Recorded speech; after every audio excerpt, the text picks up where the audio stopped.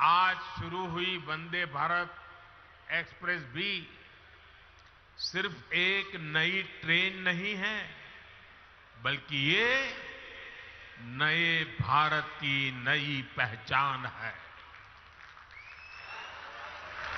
21वीं सदी में भारत की रेलवे कैसी होगी? ये उसकी झलक है। वंदे भारत एक्सप्रेस। इस बात का प्रतीक है कि भारत अब रुक रुक चलने वाले दिनों को पीछे छोड़ चुका है।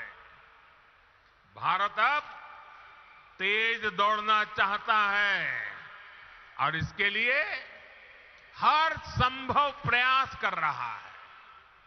साथियों, आने वाले आठ दस सालों में हम भारतीय रेल के कायाकल्प का लक्ष्य लेकर चल रहे हैं। 400 से ज़्यादा नई वंदे भारत ट्रेनें, विस्टा विस्टाडोम कोचेज भारतीय रेल की नई पहचान बनने वाले हैं।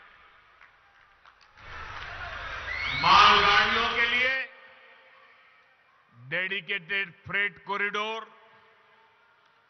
ट्रांसपोर्टेशन की गति बढ़ाएँगे और समय भी बचाएँगे।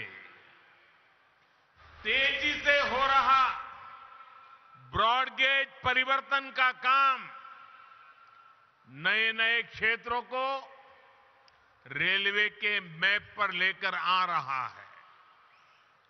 और इन सब के बीच आज देश अपने रेलवे स्टेशनों को भी आधुनिक बना रहा है।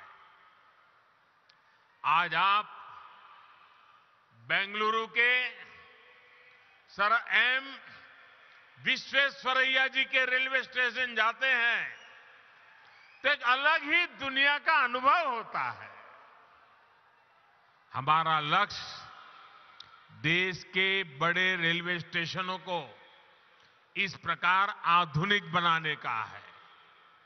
इसी सोच के साथ यहाँ कर्नाटका में भी बेंगलुरु, कैंटोनमेंट, यशवंतपुर रेलवे स्टेशनों का भी कायाकल्प किया जा रहा है।